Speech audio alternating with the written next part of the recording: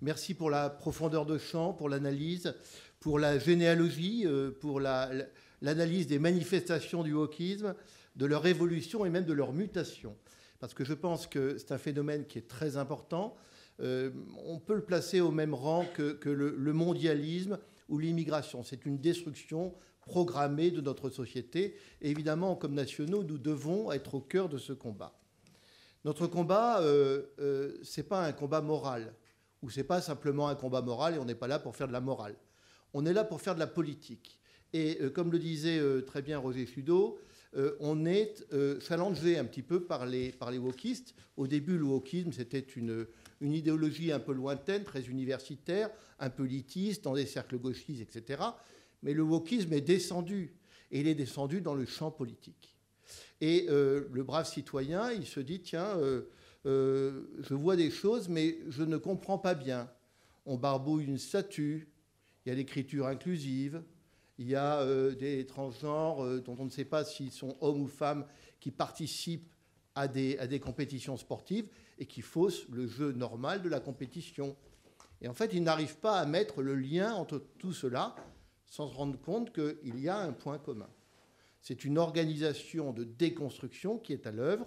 Et à partir du moment où cette entreprise de déconstruction euh, euh, se met en place, nous devons lui opposer une réaction assez euh, vive et assez ferme. Je vous disais qu'on n'est pas dans la morale, on est dans la politique, et la politique, c'est aussi des arbitrages et des régulations. On n'est pas là pour se dire est-ce qu'on est pour ou contre les transgenres? Si quelqu'un a des problèmes d'identité, il les règle avec son médecin, mais ça ne doit pas devenir un, débat dans les écoles. Et puis, euh, il y a des arbitrages immédiats. On a le chef d'entreprise qui se trouve à avoir des vestiaires, et un jour, un, employé arrive et dit ben Moi, je me sens femme maintenant, et je vais dans les vestiaires de femmes. Que fait-il? Il, il est euh, pour le transgenrisme et il laisse euh, la personne aller dans le vestiaire, ou euh, il l'interdit, il faut qu'on lui apporte une réponse politique. On voit bien que le politique, il est là pour réguler un certain nombre de choses et un certain nombre de, questions qui se posent. Je crois qu'en faisant ça, on éclaire le débat public et on est dans le rôle du politique. Le rôle du politique, c'est quoi? C'est de donner un décryptage, de donner une analyse, une analyse idéologique et politique, et de proposer, de proposer des mesures. C'est l'attitude la, que nous avons avec euh, l'association euh, des parlementaires contre le wokisme, d'essayer, à la lumière des expériences euh, des autres pays, des autres partis, de voir un petit peu ce qu'il convient de faire.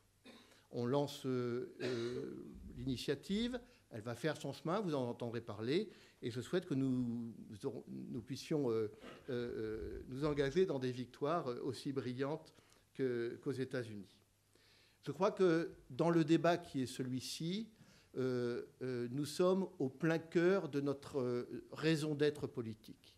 Et nous sommes, je crois, les défenseurs des valeurs de la République, les valeurs d'un humanisme, les valeurs des Lumières, les valeurs aussi d'une conception européenne de l'homme. Je crois que ce combat nous honore, ce combat, il faut le mener et il faut le gagner. Je vous remercie et je vous invite à aller voir le pot de l'amitié.